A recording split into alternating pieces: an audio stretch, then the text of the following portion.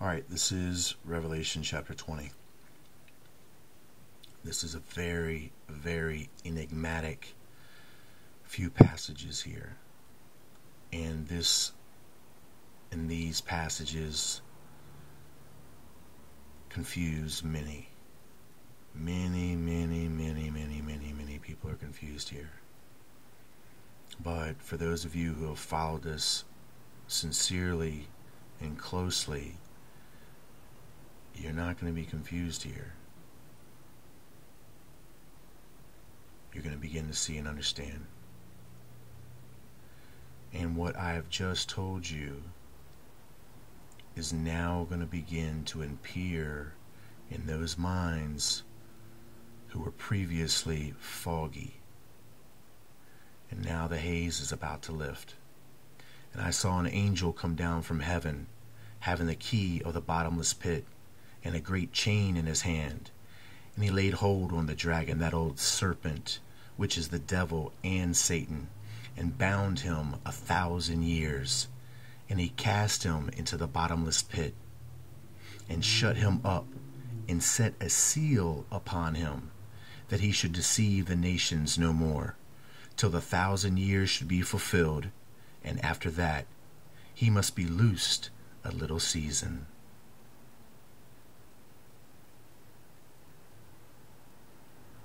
What are you thinking right now?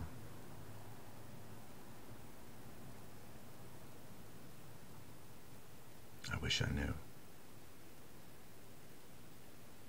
I think you know what I'm thinking right now. Let's look at this a little closely. Verse 2.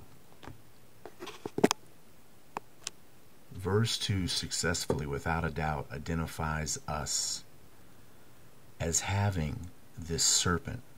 The serpent is going to be related to the devil and Satan. It says, and he laid hold on the dragon. Now, the dragon is about to be called the serpent. So, the serpent and the dragon are going to be interchangeable. That's very important because we're going to make very distinct connections with that. This, this, this ride, my friends, is just beginning. Just beginning. And then the next connection we have is the serpent, which is the devil and the Satan. So without a doubt, we have the serpent, which is the representation of all three of these personas within one symbolic identity. And we have it successfully being placed within the criteria of being bound and loosed. What I want you to understand now is simply what the topic of this heading is saying to your eyes Satan bound in the abyss during the kingdom age. Now, that is just two breaths short of telling you what I've been telling you, but from a Mayan perspective. And I know that you absolutely see that. The good news is, friends, I'm not dropping you off right here. The good news is, friends, I've got the answers you seek. I've got the understanding that you're looking for. And it's good news.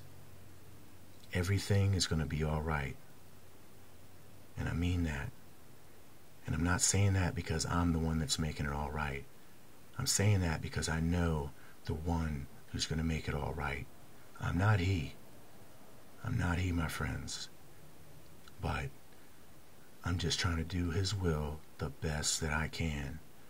Yes, I got some faults, friends, and I'm hoping that I'm giving this to you as well as I think that I'm understanding it. And forgive me if I'm not.